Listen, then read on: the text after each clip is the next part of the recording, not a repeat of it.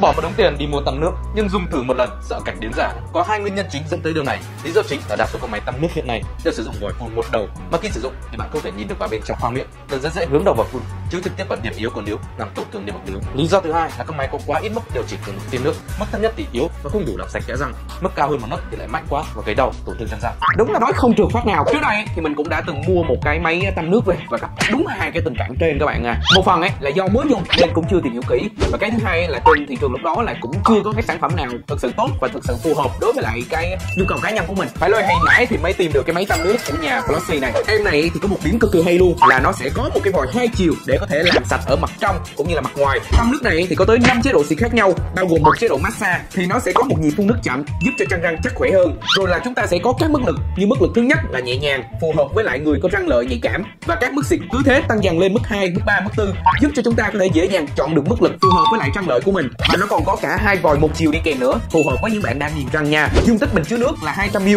mỗi khi vệ sinh ấy chỉ cần thay nước khoảng hai lần là dương xịt vệ sinh răng sạch sẽ luôn. Có cả đèn led để thông báo các chế độ xịt cũng như là mức pin rất trực quang hỗ trợ chống kháng nước IPX7 thì các bạn cứ dùng thoải mái, không có sợ nước bắn gây hỏng hóc máy bên trong đâu. Sử dụng cổng sạc Type C sách hướng dẫn hộp đựng phụ kiện đều là tiếng Việt 100% mua về đặt qua một lần là dùng được luôn. Nếu như mua ngay bây giờ, các bạn sẽ còn được tặng một bộ cào lưỡi phun kim loại, một đầu tăm nước hai chiều và một túi vải để đựng nữa. Bảo hành một đối một trong vòng 12 tháng, cho nên là yên tâm tuyệt đối luôn nhá. Và hiện tại, giá đang giảm chỉ còn dưới một củ khoai thôi và còn được tặng rất nhiều phần quà, duy nhất vào ngày 25 tháng 7